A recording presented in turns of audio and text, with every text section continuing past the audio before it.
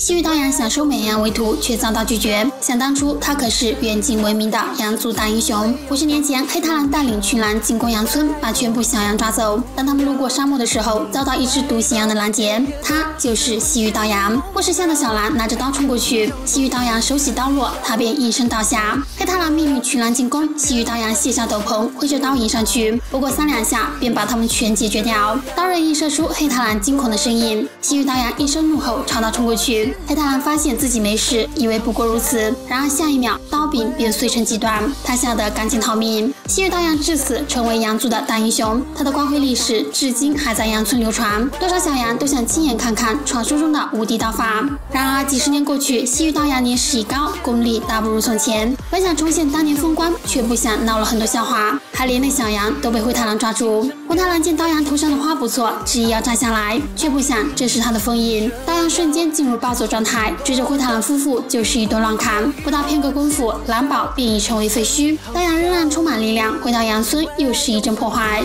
自从知道这方法能恢复功力，西域刀阳又接着行下战役，结果头上的花拔得太多，导致功力暂时失效，只能回羊村避难。之前他派发了很多有求必应的金牌，那些动物拿着金牌找上门来请求帮忙，这可给小羊们带来不少麻烦。村长和刀阳一起喝茶聊天，问他有没有想过收徒弟。刀阳一副潇洒姿态。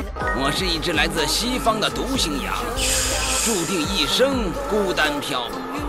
可听到村长说到武功失传的问题，他立刻态度大转变，急冲冲就要去找徒弟。一脸渴望的沸羊他不要，偏偏要选毫无兴趣的美羊。美羊想象习武之后的样子，决定死都不要学。刀阳不肯放弃，追着他各种展示自己的绝招，什么空手碎大石、水上轻功、飞花碎叶刀法。美羊不是觉得粗鲁，就是觉得无聊。刀阳展示刀法的时候，意外把灰太狼的毛剃光了。灰太狼为了给丈夫出气，找到刀羊决战。一招过后，锅法战胜了刀法。美羊和刀羊都被抓到狼堡。灰太狼夸奖红太狼的时候，随手摘一朵花献殷勤，没想到因此解除刀羊的封印，结果又被打飞了。